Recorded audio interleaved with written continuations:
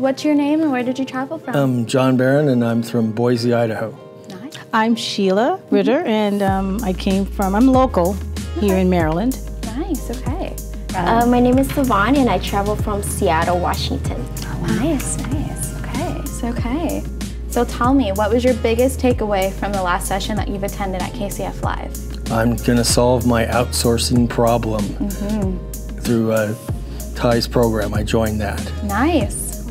Uh, well, this is my first uh, KCF Live, and um, what I remember is Ty saying that money loves speed because I seem to overanalyze things, and so when he said that, um, it just kind of, I guess, gave me permission. Get get it out there, and then you can modify as you go. Yeah, for sure.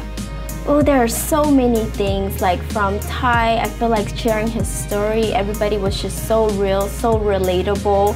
Um, Greg did amazing job with the whole research. It's like there's so many opportunities. The opportunity is like it's limitless. It's like the world is your oysters, you know, and they go into straight detail. Like it's just straight to the point, and it's very easy to implement, you know. And um, the last session with uh, Josh and Marty, I love that uh, we had the workshop and they were guiding us step to step. So then when we do go home, we know exactly what to do.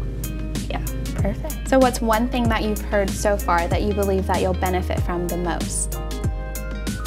Oh, well, the mindset shift when he said that he learned something from one of his mentors that um, sort of regard a million dollars as being small, then that will help you believe that you can make a million dollars in a month. Yeah. So that sure. mind that mindset shift, um, oh, it's, it's just changing, just just changing the way I think about, you know, um, the six figures or seven fig- figures that you can make from doing this business. So Yeah. um, I'm becoming a believer. yeah, for sure.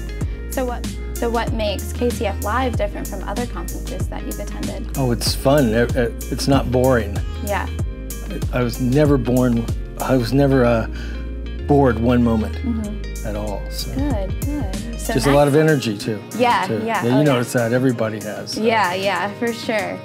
Um, straightforward. Uh, I love the speakers. I feel like they real. Um, you know, I love just hearing everybody's background. You know, Josh's and Marty's and um,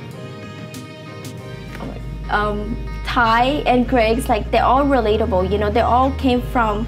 Like no one was giving them any money. It, they all started as like self-made, you know, and a lot of people can relate to that. And I feel like um, when you have to fight for what you want, it's gonna make you relate to a lot of people. And um, yeah. So next time, if you can bring one person, who would you bring and why? Oh, I'd bring my, I'd probably bring my co-author. I do have a co-author. Okay. And um, they would probably be real excited because I can't wait to get back and tell them how excited I am. I have so many ideas that I got, and I, I don't know which one. To, well, I do. I do know the one thing I'm going to do first, but then after that, there's so many ideas I have that I can implement, and I just can't wait to get started. That's exciting. So, what would you say to the person that's watching this and is considering coming to the next Kindle Cash Flow live event?